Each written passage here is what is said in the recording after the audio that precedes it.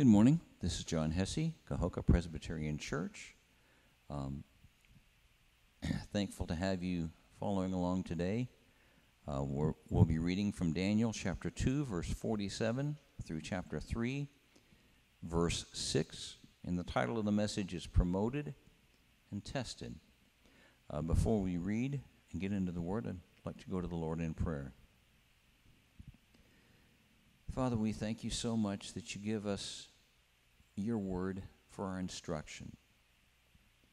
And, and some of what we read is straightforward instruction. Some of it is in the form of stories, interesting stories, and in many cases, stories we may be familiar with and may have heard all of our lives. But in every case, therefore, our instruction, so that we can learn more of your character, so that we can recognize more of our own character, and so that you can use those things to draw us closer to you. We ask that you'd work all of these things in each of our lives as we do this. In Jesus' name, amen. Daniel chapter 2, verse 47 through 3, verse 6. Okay, Daniel has just interpreted King Nebuchadnezzar's troubling dream. And in verse 46, Nebuchadnezzar fell on his face and and commanded that they should make an offering to Daniel because, well, because Nebuchadnezzar recognized that there was a great power in Daniel and that Daniel was able to do things that none of the other wise men were able to do. And since he didn't know the God of Israel, he attributed that to, to Daniel himself. And in 47, the king answered Daniel and said, Truly your God is the God of gods, the Lord of kings, and a revealer of secrets since you could reveal this secret. Then the king promoted Daniel and gave him many great gifts, and he made him ruler over the whole province of Babylon and the chief administrator over all the wise men of Babylon. Also, Daniel petitioned the king, and he set Shadrach, Meshach, and Abednego over the affairs of the province of Babylon. But Daniel sat in the gate of the king. Uh, we'll just go over those first, and then we'll get into chapter 3. Now, the king answered Daniel in verse 47 and said, Truly your God is a God of gods, the Lord of kings, and a revealer of secrets, since you could reveal this secret. This sounds like Nebuchadnezzar. Uh, Nebuchadnezzar, at least, and as, as we read further, we're, we're driven pretty much to the conclusion that, that Nebuchadnezzar recognizes that the God of Daniel is greater than any of the gods that he has grown up worshiping. But that's not the same thing as having come to a place of faith and trust in the God of Daniel or the God of heaven or the true God. Um, but when he says truly, the word that's translated truly emphasizes fidelity or faithfulness. You have uh, in Daniel 4, verse 37. Again, this is Nebuchadnezzar speaking. Sometime later, quite a few years later, and after he has had the opportunity through great hardship to expand upon the knowledge that he initially confessed. Now I, Nebuchadnezzar, praise and extol and honor the King of heaven, all of whose works are truth, same word, uh, representing fidelity or faithfulness, and his ways justice, and those who walk in pride he is able to put down. And, and we'll deal with this more as we get through that part of Daniel. But pride is something that you see in Nebuchadnezzar's life. And pride is something that is an almost universal temptation. in, in part because we want to be, and, and there is nothing wrong with being recognized for abilities that God has given us, for things that we have been able to do. That's, that's part of how we are created, is, is that recognition where it comes into sin is where we attribute those things to ourselves.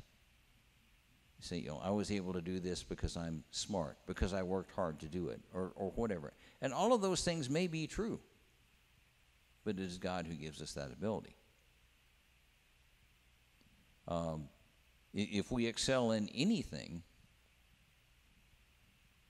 there, it is likely that, that that achieving of excellence involved a great deal of work on our part. But the ability to do that work and to develop that ability came from God. And the initial gifting, whatever, I mean, in whatever area it is, whether it's in terms of scientific, whether it's in terms of artistic, whatever area it is, that, that initial ability came initially from God, plus the determination, the drive, and the willingness to develop that ability and to uh, to uh, create a uh, a high degree of skill in it. And then in verse 47 of chapter 2, your God is the is the God. He's recognizing that he's faithful in that. The Lord of Kings and a revealer of secrets. Secrets refers specifically here to dreams. He's revealed a dream. He's referring back to, uh, in, the same chapter, chapter 2 of Daniel, verses 22, 28, and 29, all of which uh, Nebuchadnezzar had had this mysterious dream that frightened him and that he was unable to explain, and all the other wise men and the astrologers were unable to explain. Going on to verse 48. Then the king promoted Daniel and gave him many great gifts, and he made him ruler over the whole province of Babylon, and the chief administrator over all the wise men of Babylon. Now, in Daniel 2, verse 6, when Nebuchadnezzar has first had this dream, he promises that whoever can interpret the dream will receive great gifts. And, and he makes good on this promise to Daniel. I, I would like to read a couple of verses written by Solomon in the book of Proverbs, Proverbs 14, 35, and Proverbs 21, verse 1. And these are dealing both with how God works through giftings and abilities. Proverbs 14, 35. The king's favor is toward a wise servant but his wrath is against him who causes shame. And Daniel was indeed a wise servant, and he received the king's favor. In Proverbs 21, verse 1, the king's heart is in the hands of the Lord, like the rivers of water. He turns it wherever he wishes. Now, is Solomon saying here that the godly king's heart is in the hand of the Lord, like the rivers of water? He turns it wherever he wishes? No, he makes no such distinction. That God is not some mighty but not almighty God. God is an almighty God, and he can even turn the hearts of a king like Nebuchadnezzar, who didn't know the God of Israel who didn't know the true God of the universe. But God worked in his heart to bring about, to set his men, Daniel and his friends, um, Hananiah, Mishael, and Azariah, or by their Babylonian names, Shadrach, Meshach, and Abednego, in places of prominence to, pro- to provide for and protect his people who were in a time of judgment. They'd been conquered by a foreign nation because of their unfaithfulness to God. And yet, even in that place of judgment and testing and trial, God provided a protection for them. He provided a place where those who were faithful to Him rose to positions of prominence. And he became, Daniel became the chief administrator over, over all the wise men of Babylon. Daniel 4, verse 9 and 5 verse 11 both refer to this. And I would like to read um, 4 verse 9. Daniel 4 verse 9.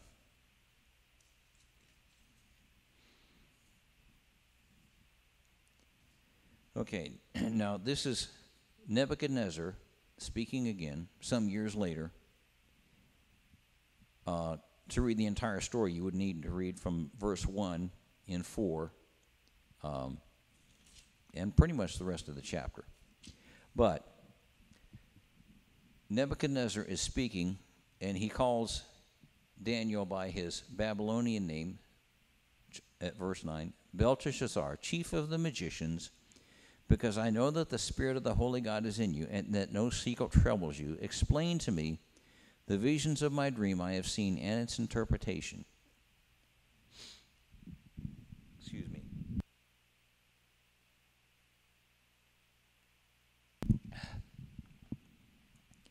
A couple of things there that we'll probably go into more detail when we get to that chapter, but but Nebuchadnezzar calls Daniel the chief of the magicians. Uh, magic is strictly forbidden in the Old Covenant, but this is not a godly man speaking. This is a pagan king. And most of this pagan king's counselors were those who uh, were practitioners in occult practices. They were magicians with a K, uh, as opposed to sleight of hand artists. Some were probably a little of both. But Daniel was referred to as the chief of the magicians because Daniel had been chief administrator over all of those who were in those positions of authority. He was not somebody who understood the law of God. He was speaking from his perspective and his understanding. Okay.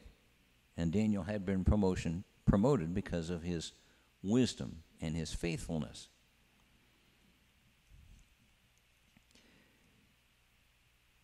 to the to the position of chief administrator. Also, verse 49, Daniel petitioned the king, and he set Shadrach, Meshach, and Abednego over the affairs of the province of Babylon. But Daniel sat in the gates of the king. Now, Shadrach, Meshach, and Abednego are mentioned again in Daniel 3, verse 12. And, and they are specifically mentioned by those who are accusing them who bring this accusation. There are certain Jews who have used, whom you have set over the affairs of the province of Babylon Shadrach, Meshach, and Abednego. These men, O king, have not paid due regard to you. They do not serve your gods or worship the gold image which you have set up. Excuse me. Sorry about that. So that accusation is, is brought against them. Uh, and they're mentioned again in, in uh, chapter 3. And it says that Daniel sat in the gates of the king. Now, for most of us, that doesn't mean very much. But to, in ancient times and in ancient cultures, in almost every ancient culture, there wasn't a county courthouse or a city courthouse.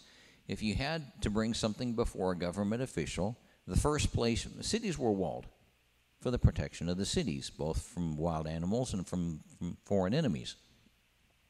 And so the first place you would go is the gate of the city. And the city officials would be sitting, when it was time to conduct business, they'd be sitting at the gate. That's where the city officials sat, that's where they conducted business. So to sit at the gate was to, to be in a place of authority. You have some examples of that in the book of Esther.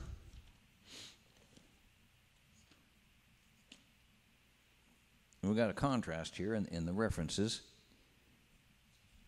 Two of the references deal with Mordecai, or one of the references deals with Mordecai, and one of the references deals with his enemy Haman. And Esther chapter 2.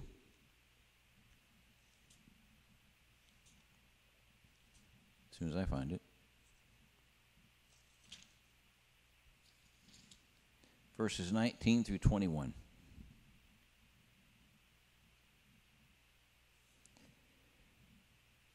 And this is just I'm just reading this in terms of sitting at the gate as a position, position of authority. When virgins were gathered together a second time, Mordecai sat within the king's gate. So Mordecai is in this position of authority. It's not a major position of authority, but he is an official of the court of, of Babylon. Now, Esther had not revealed her family or her people, just as Mordecai had charged her. For Esther obeyed the command of Mordecai as when she was brought up by him. In those days, while Mordecai sat within the king's gate, that position of authority, two of the king's eunuchs, Bigthan and Teresh, doorkeepers, became furious and sought to lay hands on King Ahasuerus. They sought to kill him, and, and it's an interesting story, and I encourage you to read the book of Esther. It doesn't really take a long time. Uh, chapter 3, verses 1 and 2 somebody else sitting at the gate. After these things, King Ahasuerus promoted Haman, the son of Hammedatha the Agagite, and advanced him and set his seat above all the princes who were with him. So he has a position above everyone else. And all the king's servants who were within the king's gate, all the minor officials, of whom one of them was Mordecai, bowed and paid homage to Haman. For so the king had commanded concerning him. But Mordecai would not bow or pay homage. So that Haman had been set up in, in position of essentially second in command, and all the lesser officials were, were to bow and pay homage to him, and Mordecai would not. In Amos 4, or um, I mean Amos chapter 5, verses 14 and 15.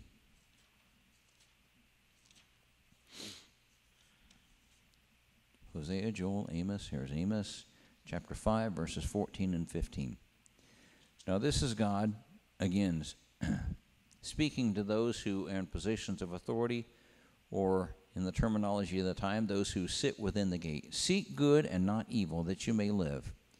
So the Lord God of hosts will be with you as you have spoken. Hate evil, love good, establish justice in the gate.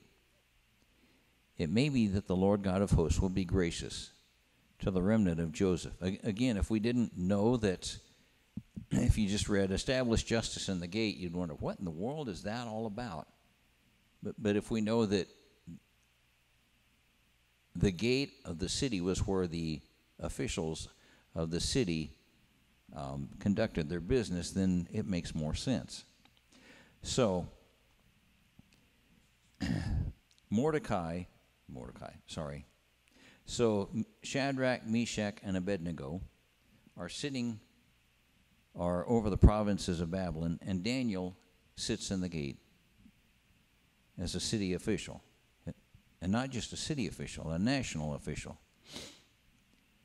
Chapter 3, verses 1 through 6. Nebuchadnezzar the king made an image of gold, whose height was 60 cubits and its width 6 cubits he set it up in the plain of Dura in the province of Babylon. And King Nebuchadnezzar sent word to gather together the satraps, the administrators, the governors, the counselors, the treasurers, the judges, the magistrates, and all the officials of the provinces to come to the dedication of the image which King Nebuchadnezzar had set up.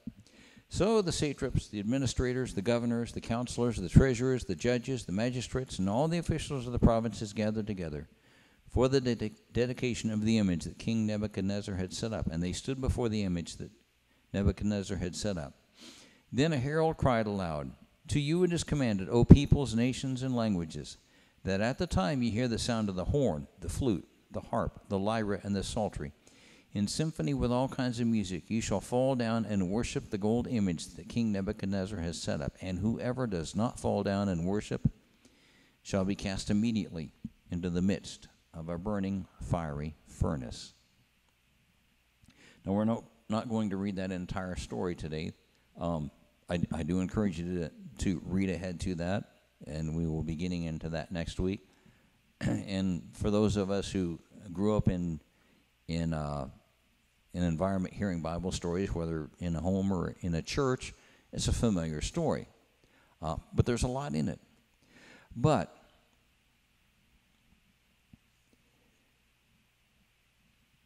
it says that he made an image whose height was 60 cubits and its width was 6 cubits. Well, since I don't think probably anybody measures in cubits anymore, the obvious question is okay, how big is this image? Uh, it's 90 feet tall and 9 feet wide. You have something that's very tall and for its height, very, very skinny. I mean, it's only 9 feet wide, so that really isn't all that much. Um, whatever this image is. And it doesn't specify exactly what the image is. and, and, and historians have made a lot of guesses.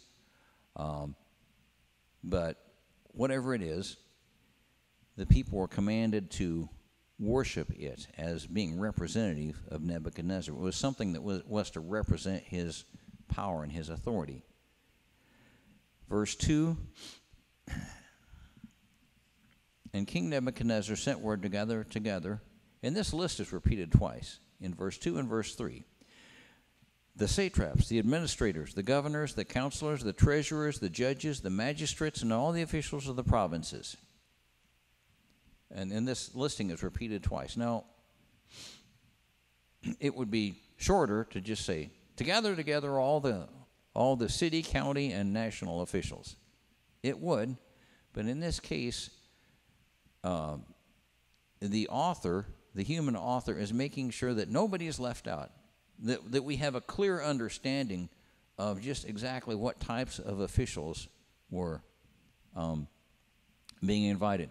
Now, one word that has uh, changed in its meaning somewhat is that the word that's translated judges, the treasurers, the judges, in Babylonian times, the judges were those who rendered judgment by divination or astrology. I mean, it, it, referred not, not just to somebody who had a thorough understanding of the Babylonian law, but somebody who used divination and astrology in order to render a judgment. And I, I thought that was kind of an interesting um, detail. Then the herald cried aloud, and he, he uh, says, At that time you hear, you hear the sound of the horn, the flute, harp, lyra, and psaltery. Hear means literally to hear and to obey. And, and, you know, we've probably all heard this. You heard me, but did you really hear me? You know, chances are pretty good that at some point, if we've had children, we've probably said something like that. Probably something that we heard from our parents and said we'd never say to our children, but hmm, surprise. Well, it was happening then too. Going on to verse 6. So, all these officials are, ca- are, are brought there. And not just major officials, minor officials. The most minor of officials. Because this image has been set up so that this image, whatever it physically looked like, was to be a representation of Nebuchadnezzar as a king, and not just a human king, but he was asking to be, in verse 6, and whoever does not fall down and worship shall be cast immediately into the midst of a burning fiery furnace. He was not just asking for the honor that would be due a king. Kings and those who are in authority, I mean, I didn't grow up in a monarchy. I, I really don't have much understanding of, of kings, and most kings that are on the world now are in constitutional monarchies, and so they their power is is more uh, symbolic than actual. But Nebuchadnezzar, like tyrants before and tyrants since, have wanted more than just the authority that is due those who are in authority, because God give, commands us to give authority to those who are in positions of authority to give respect. And, and, and that's not even really based on whether they're deserving of that, but because of that position, because God has, is using them in that place of authority. We may be called upon to resist them if they're demanding of us something that goes against the law of God, but even if we are called to resist, or as we move into a time perhaps of greater disobedience to the will of God, even when we are called to resist. We are called to resist not from a rebellious heart and attitude, but from an attitude of submission to the things that we can submit in, and submission to the law of God in the things that we cannot submit to the law of man in.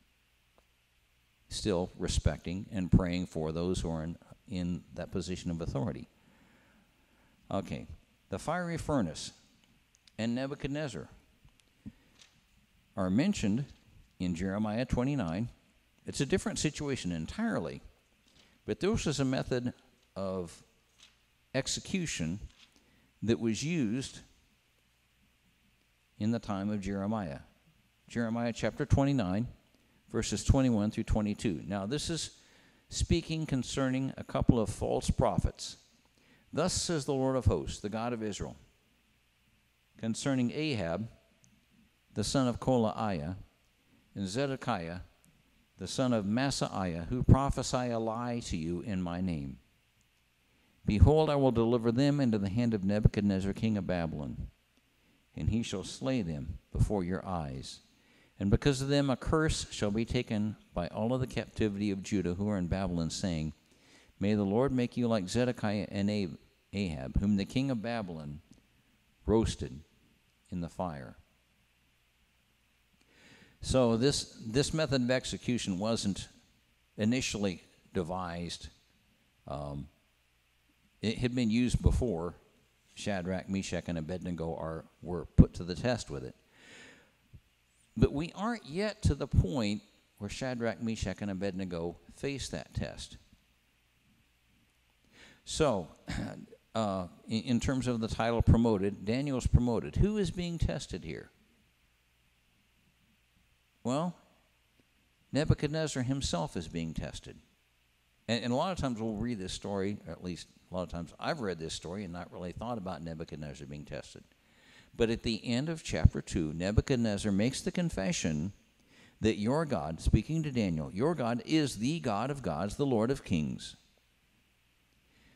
Nebuchadnezzar is making a confession that is entirely true, but it hasn't really penetrated his heart. Because he goes on to make this image of gold, to have it to be made, which, I mean, however long it took, it wasn't just made overnight. And to send out the proclamation that everybody was to be brought together to worship this image that was to represent his power. Okay, so Nebuchadnezzar has made the proclamation that the God of Daniel is the God of gods and the Lord of all kings. And yet here he is acting as though he is the God of gods and the Lord of all kings. He is being put to the test.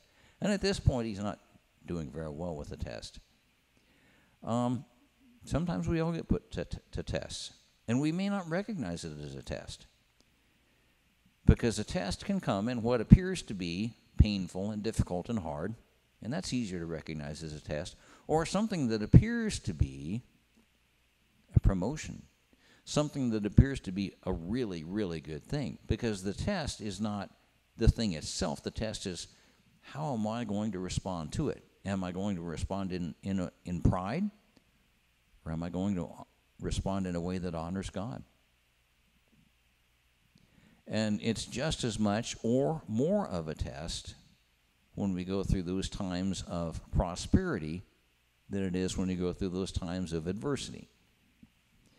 And of course, the officials, the satraps, the administrators, the governors, the counselors, the treasurers, and the judges were also being tested. Now, most of them really would have had no understanding of who the true God of the universe was. But they were being tested. And so you could say, well, they're totally excused. Well, is that really true? Because even if you don't know anything about the true God of the universe, and certainly there are many people who don't, if some human king, if some human tyrant, if some human dictator issues a decree that he is to be worshiped as God, and you know that he is a human being, and at some point he's going to die. Now, you may not believe that there's a judgment, and you may not believe that you'll face a judgment or that he or she will face the judgment, but but you but we do recognize just through life itself that everybody dies.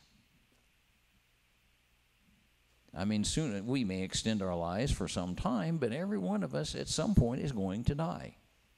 And if somebody is, is claiming that he or she is a God and needs to be worshiped as a God, it's pretty obvious that that is patently false. It can't possibly be true. And so they also were being tested. And as we read further next week, we'll find out more, of course, about the testing of Shadrach, Meshach, and Abednego. But they also were being tested. Um, now, the fiery furnace was a literal fiery furnace here, but it's used as a symbol of judgment upon sin in Ezekiel 22 17 through 22. Ezekiel 22 17 through 22.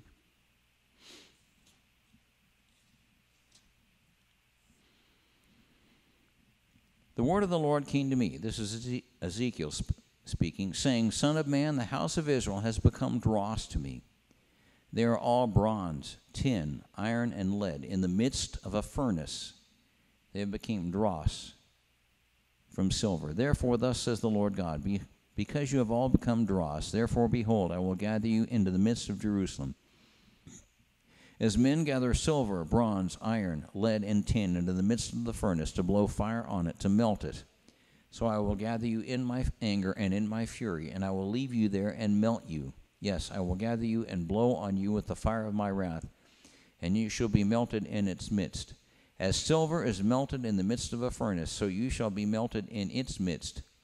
Then you shall know that I, the Lord, have poured out my fury on you. Now, this is a very, um, God is speaking to a sinful people, and He's promising, in, in the case of Ezekiel, that He's going to bring His judgment upon them because of their sin. But what comparison does He use? Does He say, I'm going to gather you as wood, hay, and, and uh, stubble into the midst of a fire and pour out this fire upon you?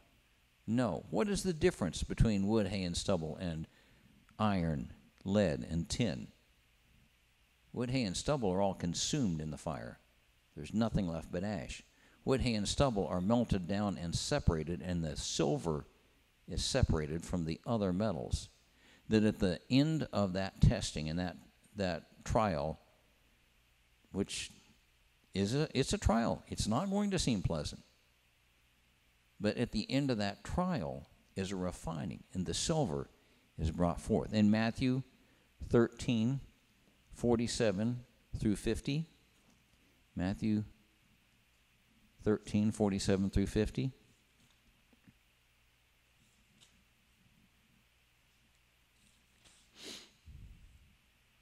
Again, this is Jesus speaking. The kingdom of heaven is like a dragnet that was cast into the sea and gathered some of every kind, which, when it was full, they drew to shore. And they sat down and gathered the good into vessels, but threw the bad away. So it will be at the end of the age. The angels will come forth, separate the wicked from among the just, and cast them into the furnace of fire. There will be wailing and gnashing of teeth. Again, a furnace of fire is used as a symbol of, symbol of judgment, but in this case, the wicked are thrown into it, and there is no refining. This is after the period of refining, it is a symbol of utter destruction. Revelation 9 1 and 2 also speaks of that burning, that destructive burning judgment. Revelation 13 13 through 15, which I'd like to read. Revelation 13 13 through 15.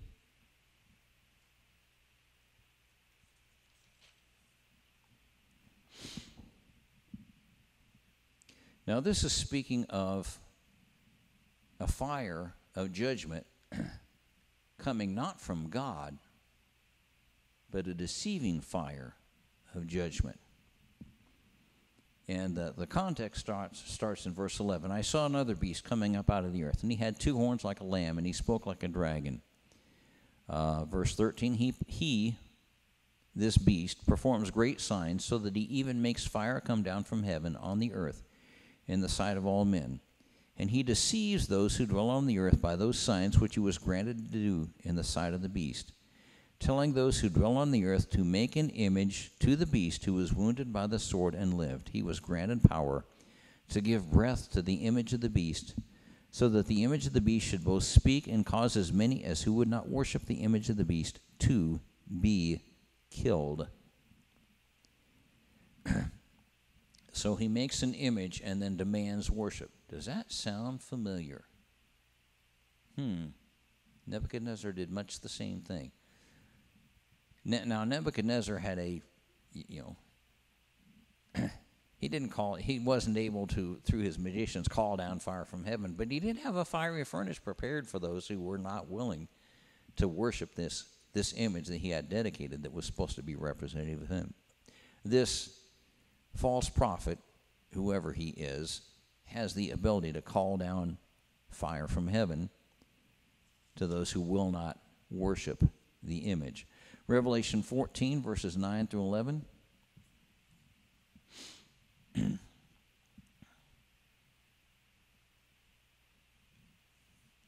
then a third angel, and now this is um, the proclamations of three angels.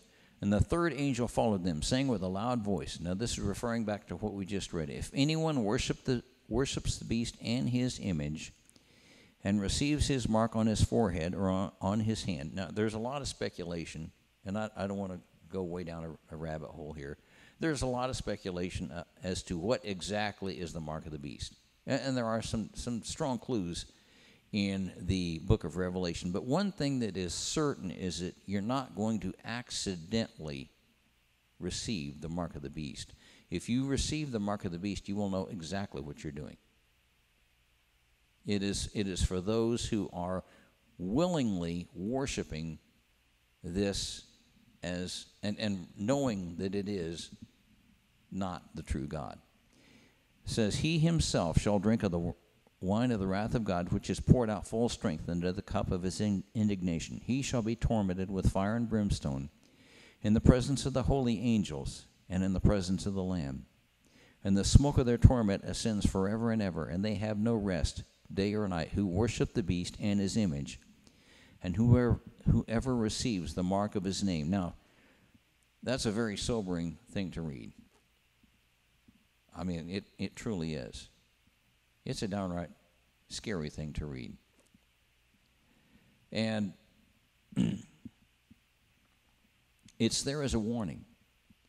It's, it's there so that as we later find out Shadrach, Meshach, and Abednego were, were willing to stand up for the true and living God in the face of, uh, as, they told, as they tell the king later, our God can't deliver us from your hand. And indeed, he does.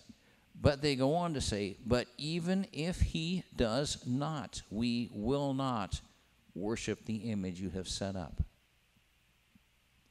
It's there so that we can understand the cost um, of turning back, so that we can understand the importance of obedience so that we can understand and hold fast to the one who holds our lives in his hands. So that no matter what this life may bring to us, um, and let's face it, we all, none of us want to face hardship. None of us, none of us want to face persecution. Although many of our brothers and sisters throughout the world are going through that right now as we speak, but none of us want that. We'd be insane to want it.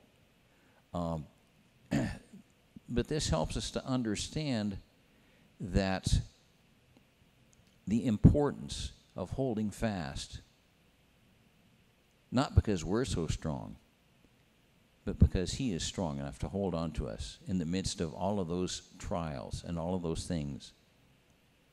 Amen. Father, we thank you so much that uh, in, in reading this, we, we're faced with the, the imagery